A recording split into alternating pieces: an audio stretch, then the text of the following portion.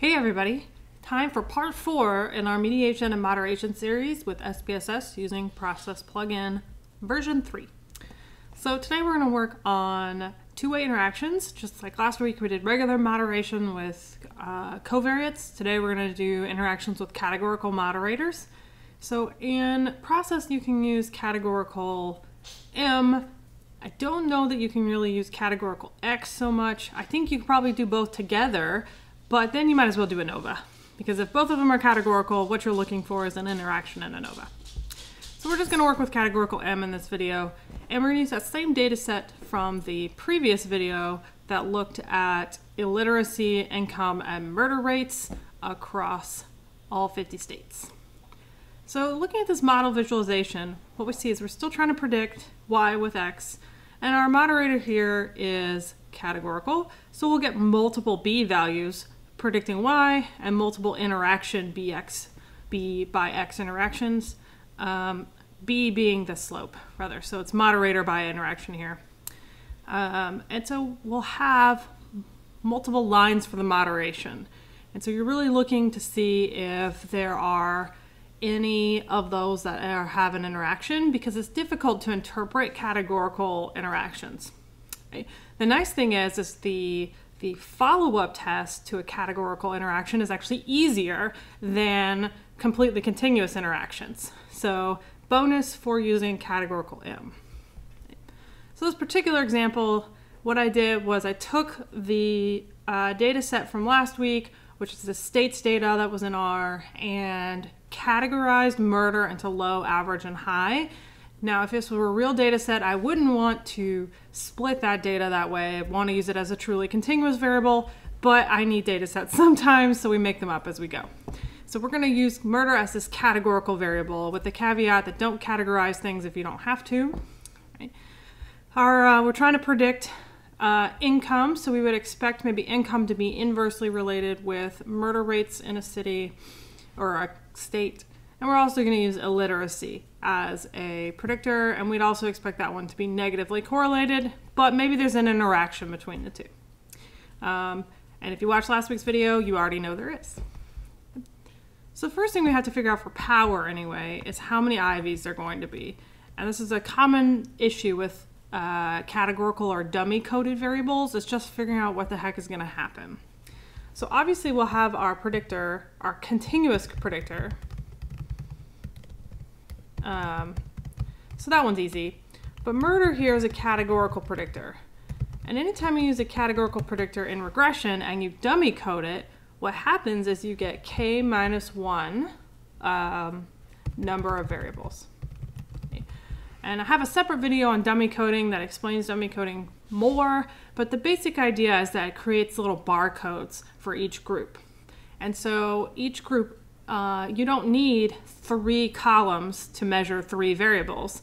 You actually only need two because you can create a unique pattern of variables that account for all of those groups. So what happens is one group gets coded as all zeros. One group gets coded as one and then zeros. And then our last group, because we have three um, low, average, high, gets coded as zero and then one. And so well, this makes this sort of cute pattern. see if I can insert a little table here. Where we have what group we're in. And so let's say we're going to do this as the low group is the um, comparison group. And this is what's going to happen in the background in SPSS. That was what process does. Sometimes this is called um, contrast coding, if you're familiar with that term.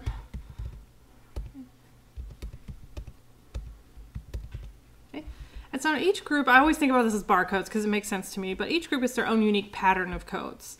And so we don't need a third variable where the low group is also marked 1 because they already have their own unique code.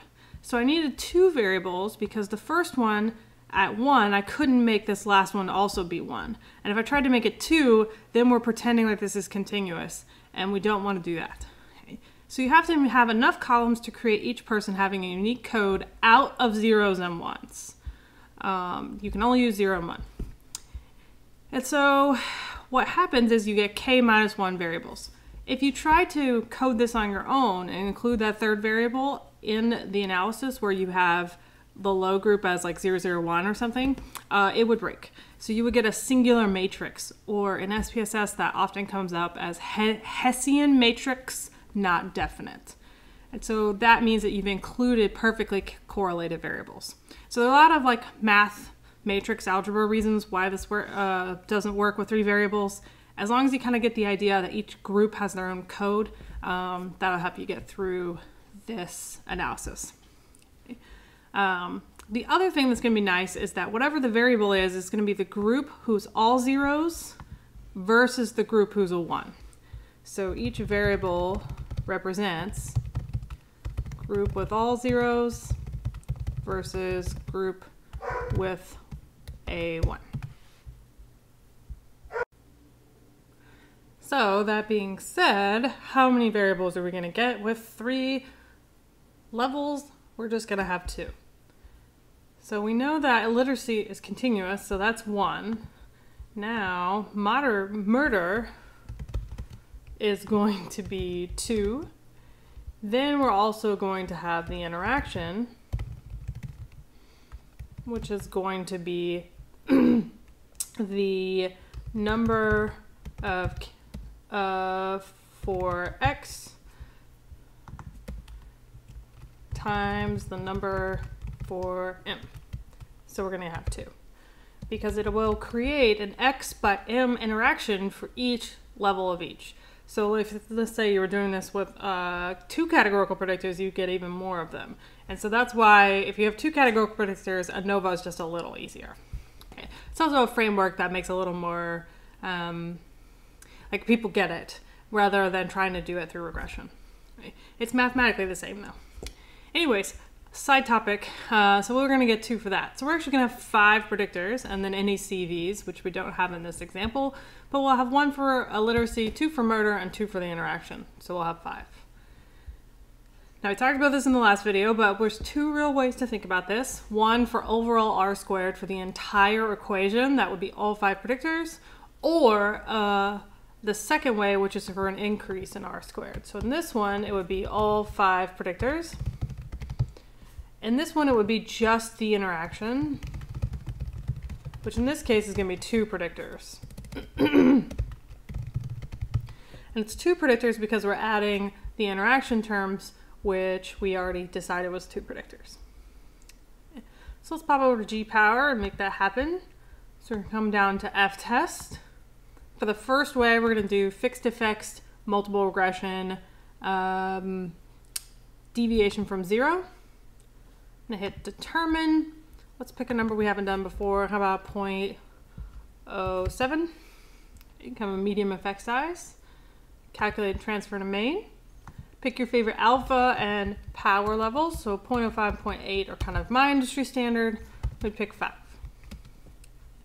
So in this example, we need 177 states, which we don't clearly don't have, but 177 participants in whatever form that is to find a small effect.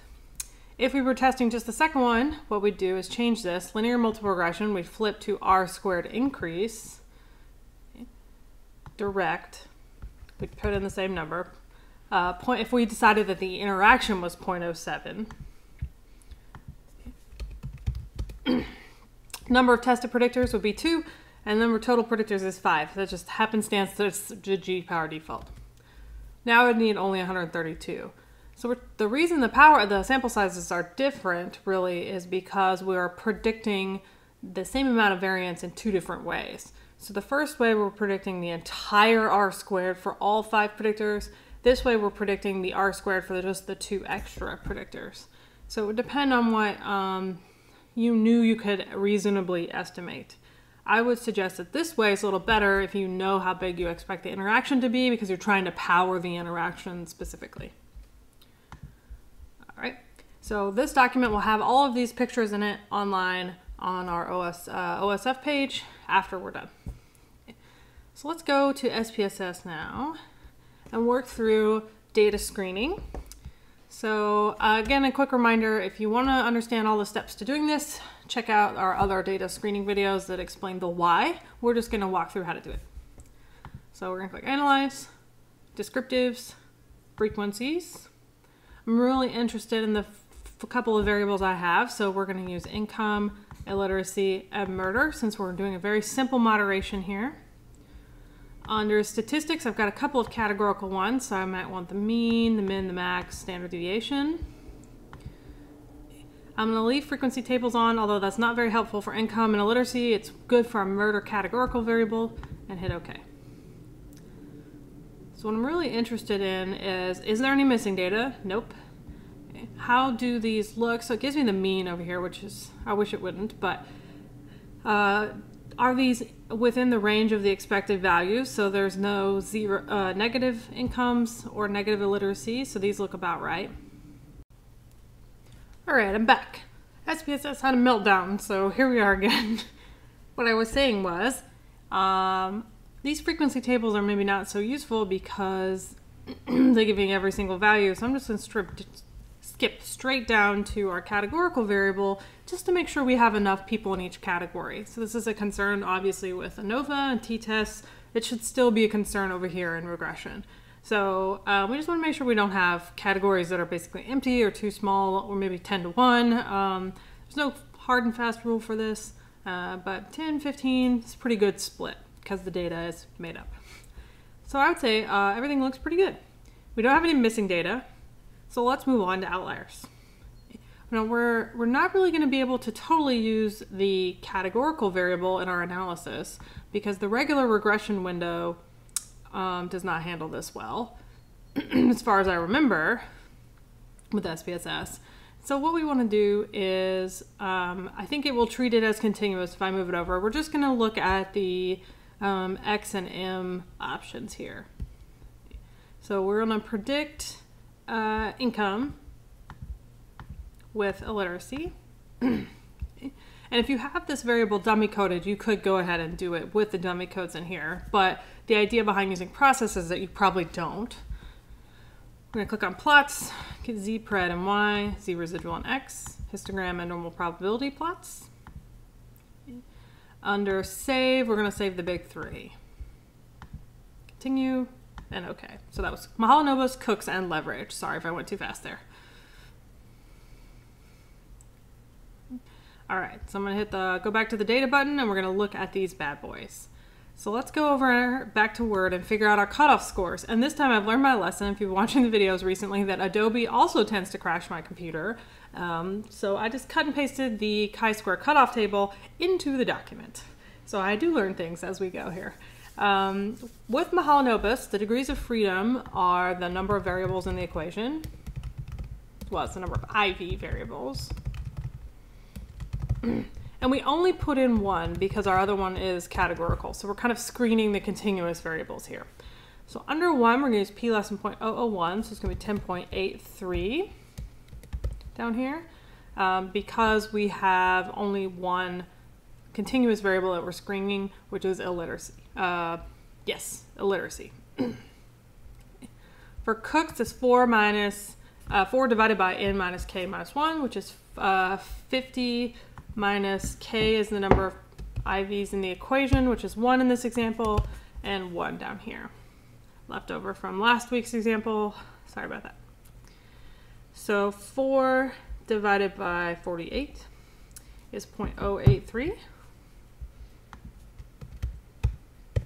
And this is actually going to be 4 divided by 50, just 0.08. So let's go back to SPSS and screen those columns. So what we're going to do is create um, some bad columns. So I'm going to transform, compute variable. We're going to create a column that marks if a person is an outlier or Mahalanobis. So we do Mahalanobis distance greater than our new our cutoff, which is 10.83. Hit OK. What that's going to do is it's going to code anybody whose score is greater than that, which we can see is, since we only have 50 data points, it's pretty easy as a zero. So we don't have any Mahalanobis outliers. Okay. And with only one predictor, you don't tend to. It's kind of hard to be really far away um, with only one X. we're gonna do that same thing twice more. So we're gonna do this for cooks and create a bad cooks column. It's cooks distance, double click greater than 0.083. And what this does is it allows us to look at all of them in tandem, so together, instead of trying to like sort three different ways. One more time, and transform, compute, compute variable, we got bad leverage.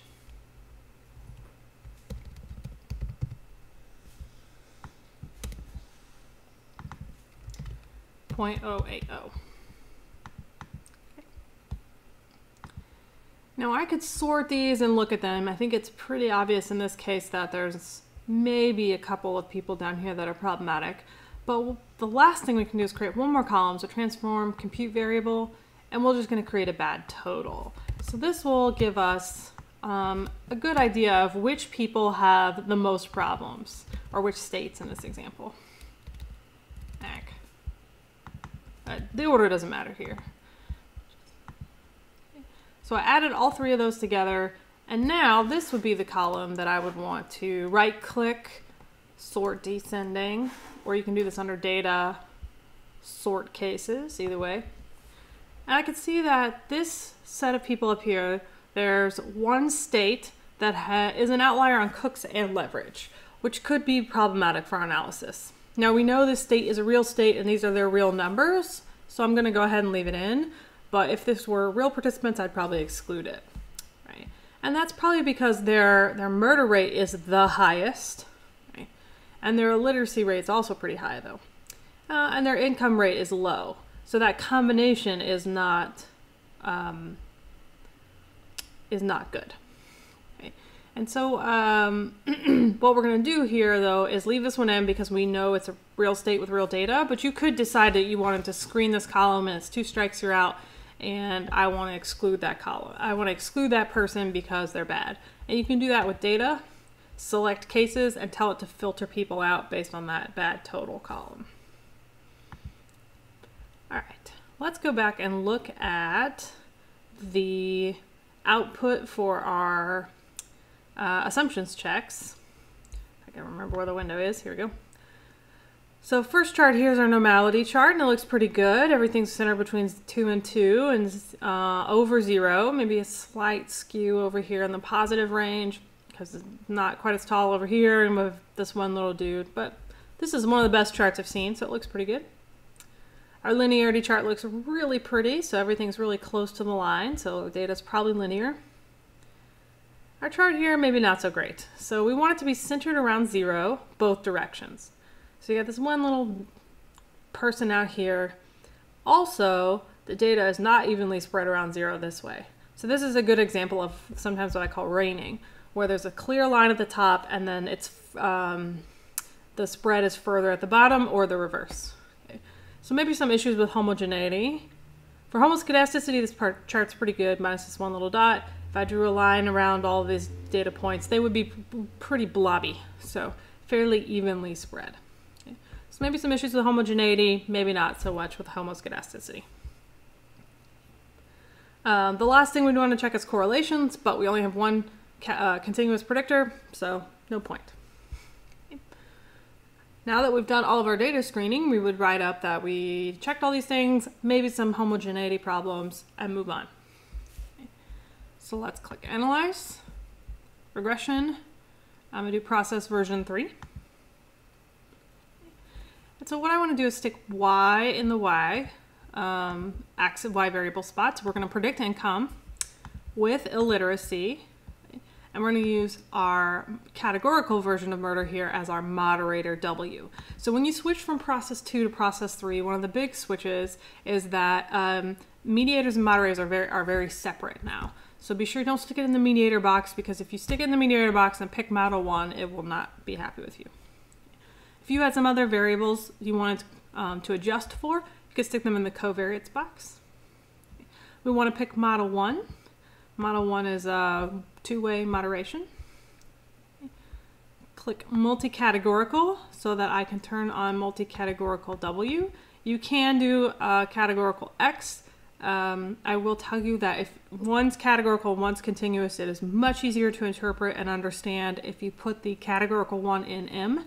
Obviously, theory might dictate this question as well, but it's just going to be so much easier if the categorical variable is the moderator, which in this example is W, sorry. So continue. You can click options. Um, most of these don't mean a whole lot, but we're going to click mean center for construction of products. And that's going to center X because X is continuous. You don't necessarily have to do that when one's categorical and one's continuous. I'm going to so that you see that if you're watching the SPSS and the R video, you can see that the outputs match. Uh, probe interaction, so you could tell it to always show you the interaction, um, or you can pick a, a, alpha level here. I'm just going to leave it at 0.10. On conditioning values, that doesn't actually matter in this case because it's going to separate them by level of the categorical moderator. But if you're watching this and you have a continuous variable, um, I tend to pick the simple slopes. This is the more common style. They're both fine, but know which one you're picking. And on categorical variables, I don't think it'll give you Johnson Neyman because that uh, is only for continuous variables. So continue and okay, and then wait.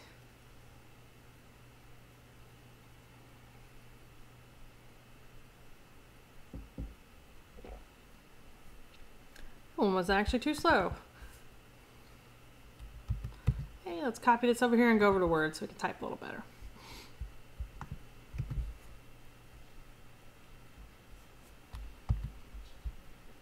Okie dokie. So scroll up here to the top. Um, we can see here how it coded that set of categorical um, predictors. That should look very familiar. This little table we made before. So now we can uh, interpret W1 and W2. So in this case, my interpretation is W1 is the um, group of the one. So level two, level two is average. Oops, in my data set. versus low because low is the group with all zeros. And W2 here equals, um, sorry, uh, high versus low. And that's indicator coding. If you want to switch this up and do uh, coding where it's 1 to 2, 2 to 3, you can also do that. There are oh, other options in that multi-categorical window to get the combination that you like. We're going to compare everybody to low murder rates. In this case, it might make sense to do low to average, average to high, but we're just going to leave this one as is. First thing I'd want to do is write up the overall model. Is it is the model significant? So we'd pull our F values. It's a little weird because it crossed pages here. So our F value of 5 and 44 equals, here's F, so we're going to use all these bad boys. So 5.23 p-value is equal to, I can find the equals, 007. And then our r squared is this one here, so 0.37. We way underestimated overall r squared. Now I want to come down here. Let's just put this here. we could talk about each variable one at a time. So literacy b value, we're going to use this first piece here under coefficient. It's a very big number, but that's because of the scaling of the data. And we just mean centered, we did not z-score these. Our t value is our second degree of freedom from our f statistic. Okay, your degrees of freedom residual. It's 1.09. We're also going to use p right here.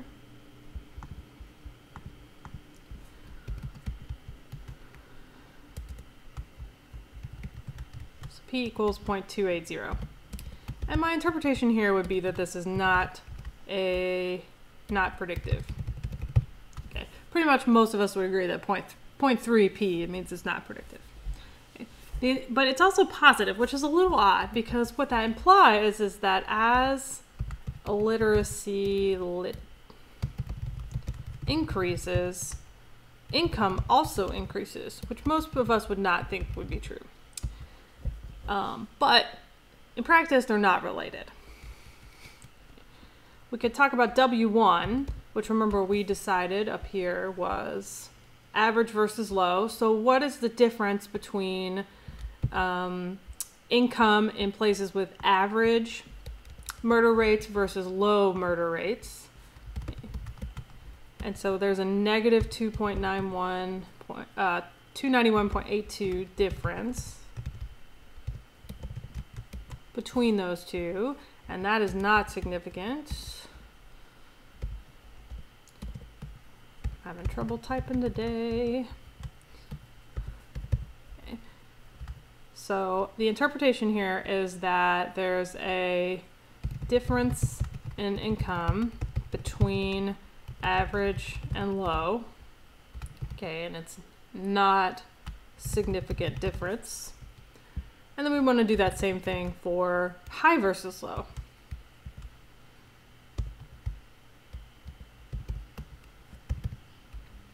Okay, and it's also not significant. So there doesn't seem to be a relationship between the murder rate and the uh, income levels.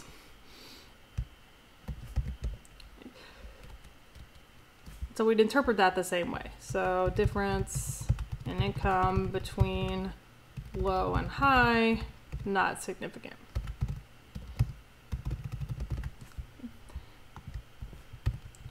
Now, if you really if you really want to understand this better, one thing you can do is go back to SPSS and calculate the means for each of those groups. So to do that, we're going to do data, split file. We're going to split on our categorical output and it says organize output by groups and move our categorical variable into it. So remember that split file doesn't really split the file, it just is like a temporary split. So that'll go away when you turn the data set off, uh, turn SPSS off. So now let's do descriptives and we can go frequencies and we just want to look at income because that's the one we're most interested in. Turn off that frequency table and let it just give me the means. And I had those means on before. So what that's saying is that the at low murder rates, the income is 4500. At average murder rates, the income is 4500, and at high murder rates, the income is 4200. But none of those are significantly different. Now, these numbers are not exactly subtractions because, uh, well, they might be, if I can math. Low to average, no, because of the other variables included in the equation. Next thing we want to do is do the interactions. So this is interaction one. So this is average versus low by illiteracy which is, like I said, a little weird to think about because it's the comparison of average to low uh, income rates by the level of illiteracy. But illiteracy is not a level anymore, it's now a continuous variable. And we want to write all that up, but I'll spare you the pain of watching me not be able to type today. So 497.71 dot dot dot. And this one is not significant. So there's no interaction. And then int 2 here is uh, low, high versus low by illiteracy. And that one is negative 1525.24. And we write all the rest of that one. And this one is significant. So yes, interaction. So there's an interaction of high and low, high versus low, given illiteracy. But like I said, this is incredibly difficult to interpret. And it just, it's hard to understand. So what we're going to do is just look at the simple slopes. So here what this does is it tells me what that interaction is, which we already figured out. This tells me the addition of that interaction, which is really handy if you are wanting to do power planning. So the interaction added 0.17 to that overall r squared of 0.37. So this is the addition of the interaction. And sometimes people report those change statistics. But what we really want is actually down here, and these are those simple slopes. So when we talked about simple slopes before, what we've done is looked at low, average, and high for uh, the different continuous variables. And we, I've talked about how it's not really broken into groups. What it is is sort of shifting the data around so we can see it better. So if we only look at this one area of the data, what does it look like? Now what we're doing is literally breaking this down by level. So it's the slope for x to y given a level or group, if you want to think about it that way, of M. So this one here means that we're working with the low group because they're the ones coded as one in SPSS. So it uses the coding that you've used. Back to the data here. Um, so in this case, I have on the labels, but the labels are just hidden uh, on top of the numbers here. So those are coded as one, two, three. You can also see this under variable view. Click under values. So that one, two, three is corresponding to these labels here. So for the low group, illiteracy predicting income,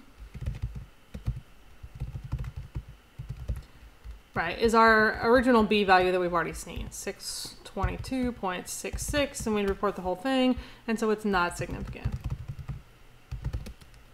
For the average group, so average murder levels, uh, illiteracy predicting income. Our B value is now 124.95. This one's also not significant. So at low and average levels of murder, illiteracy does not predict income.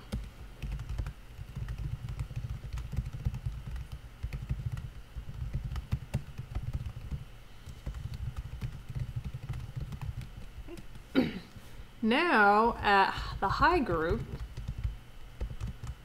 illiteracy, just ridiculous to type over and over again, predicting income is now significant, and that's negative 9.902.57, dot, dot, dot. And this one is significant. So what I would say was that at high murder rates, illiteracy predicts a decrease, because this is negative, in income rates by 902 points. So a decrease in income by about a thousand points, if I round up, uh, at high murder rates. So high murder rates, illiteracy really matters. Um, at low and average murder rates, illiteracy doesn't matter. So that's how we would report um, report these things. But how might we graph this? And so uh, there's not really a good solution in um, SPSS. And, and what you'd want to do instead is probably do this in Word. And there are options to um, generate code for visualizing interactions, but I didn't, I forgot to click that button. So under, let me back up, show you again. So analyze, regression, we'll pick process. Under options, let's now click generate code for visualizing interactions. You could have done that before. I've talked about on my channel before that these graphs are really ugly. That's a limitation of SPSS. So if you like Excel, use that bad boy instead. And so it does make you this little spot here. And we'll hope that SPSS won't crash. So I'm gonna highlight everything from data to the period. We're gonna do is file, new, syntax, don't be scared. Paste that in and highlight everything. Hit go or play or run. you're going to get a new data set, which kind of went away. But what happens is it makes you a new data set, wherever the heck that went. There it goes. With these uh, different group levels, so you could make this a little prettier. What's happening is the literacy, it's low, average, high, so it breaks that into uh, the standard deviation, one below and one above. our categorical murder rates, and then our predicted income at those variables. And this is where you would want to just kind of clean it up. So, um, given that SPSS has already crashed on me today, I won't go nuts on this. But when you double click, you'll have some abilities to like click on these options and change this to low, average, high, get rid of that gray background. Um, the hardest part is like you just want to make sure you want to add the lines because these dots are great, but people are it's gonna be much easier to see with those lines. And so here's how you can make a graph, or you could transfer this data over into Excel and um, play with that a little bit more, clean that up. Right? So altogether, that's how we would calculate power, do a moderation with a categorical variable and process in SPSS, and the start of a plot for uh, writing these variables up.